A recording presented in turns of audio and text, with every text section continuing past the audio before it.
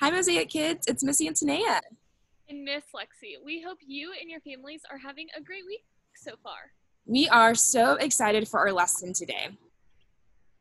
But first, let's start with our Mosaic Kids Memory Challenge. So, if you aren't already, go ahead and stand up and wiggle it out. Okay, our memory challenge that we are going to review today is Psalm 16:11. Repeat after me.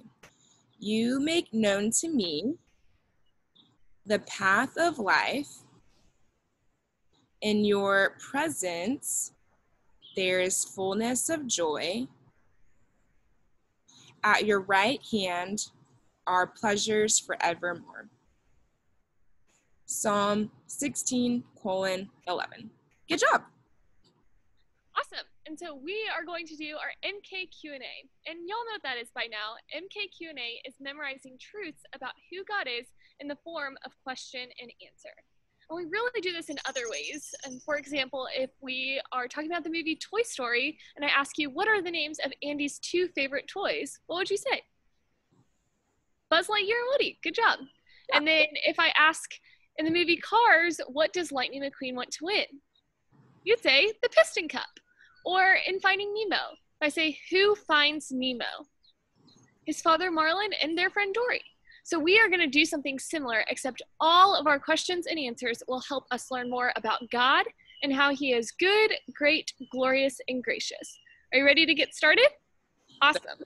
Oh, but first we're going to play or sing the banana song. So just as a reminder, um, we'll play it and it'll say bananas of the world, unite, and you put your hands up like this. And then it'll say peel, banana, and you're gonna peel the banana, peel the banana, and then chop banana, and chop the banana, and then mash the banana. Yeah, ma- mash the banana, stir, shake, eat, and then go bananas. Okay, here we go.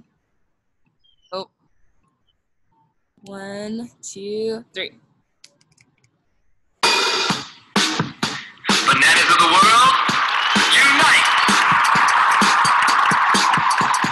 peel bananas, peel, peel bananas, peel bananas, peel, peel bananas, chop bananas, chop, chop bananas, chop bananas, chop, chop bananas, and mash bananas, mash, mash bananas, mash bananas, mash, mash bananas, and stir stir, bananas, stir bananas, stir, stir bananas, and shake bananas, shake, shake bananas, shake bananas, shake, shake bananas, and eat bananas, eat, eat bananas, eat bananas, eat, eat bananas, and go! Bananas, go, go bananas, go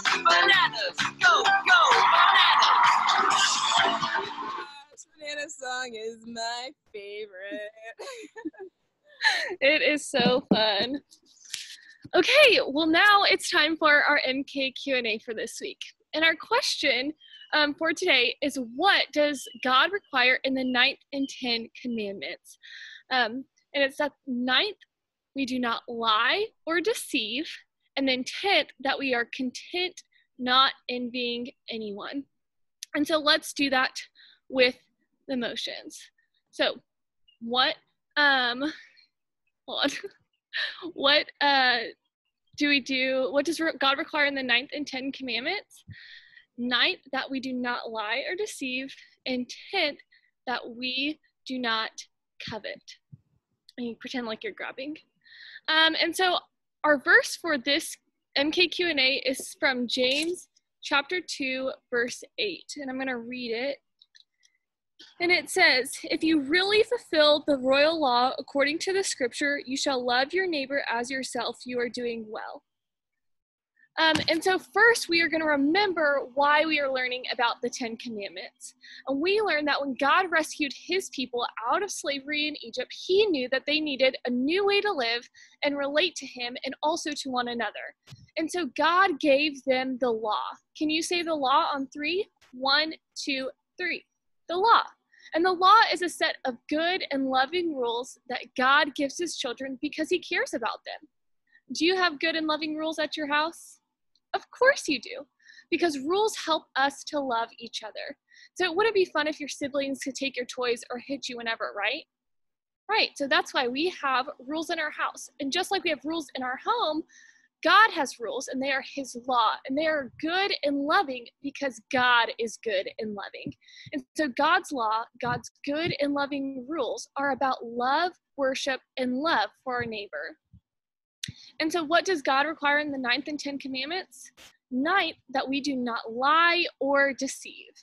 And so, we know that words are really important. Words reveal what is in our hearts. And God cares not just about what we do, but why we do it. And so when we lie, we are not using words as God wants us to. And sometimes we lie because we don't want to get in trouble. And sometimes we lie to get someone else in trouble. But God knows it is best that those we talk to can trust us, and lying hurts trust.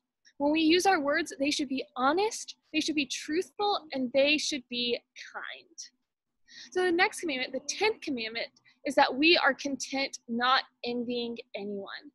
And this one is also super important. We talked about something similar last week when we talked about the eighth commandment, which is do not steal.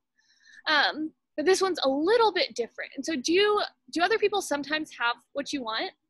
Yeah, it happens all the time. But God knows what is best for us. And really everything that anyone has comes from God.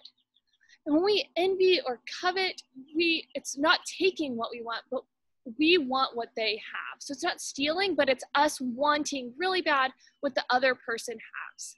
But you know what we can do that's better than wanting what others have? We can celebrate with them with what they have. And you ever have something that other people want? Of course, that happens all the time. Um, but we can share and be grateful with what we have and share that with others. And everything that we have has been given to us by God. So we can celebrate when our friends or siblings or someone at the park has something that we desire. We can also choose to share with others when we have something that they don't. And so let's remember one of our four foundational truths. We want to remember that God is glorious. He satisfies his people. And God is what is best, and only God can fully satisfy us. And God gives us good gifts that we can enjoy. But just like our emotions that roll up to God, our gratitude for His good gifts should roll up to God too. And so when we lie to others, we break trust. Or when we covet, we want what others have. But God wants us to love others because He made everyone. And He knows that lying or coveting won't truly satisfy us. Only He can truly satisfy us. And you know that too, that if you've ever lied or if you've ever coveted, you know that it only lasts for a few moments. Those good feelings only last for a few moments. Um, but what does last is loving and enjoying God because our hearts were made for Him. So let's pray. God, thank you that you are glorious, that you satisfy your people. God, we thank you for these good and loving rules that you have for us um, so that we can love you more. God, help us um, to love you more and to um, not lie or covet. Father, we thank you that we are able to do this by the power of the Holy Spirit. It's in your name we pray. Amen. Okay, now it's time for us to review some questions to see how well you were listening. And so after I ask the question, just go ahead and pause the video and then shout out the answer, and then unpause to hear the answer. Are you ready? What is the ninth commandment? That we do not lie or deceive. What is the tenth commandment? That we are content, not envying anyone. Okay, let's practice all 10 of our commandments with the hand motions. So, what is the law of God stated in the 10 commandments? One, that you shall have no other gods before me. Two, you shall not make for yourself an idol. Three, you shall not misuse the name of the Lord your God. Four, Remember the Sabbath and keep it holy. Five, you shall honor your father and your mother. Six, you shall not murder. Seven, you shall not commit adultery. Eight, you shall not steal. Nine, you shall not give false testimony. And ten, you shall not covet. Good job, guys. We'll see you Sunday. Bye.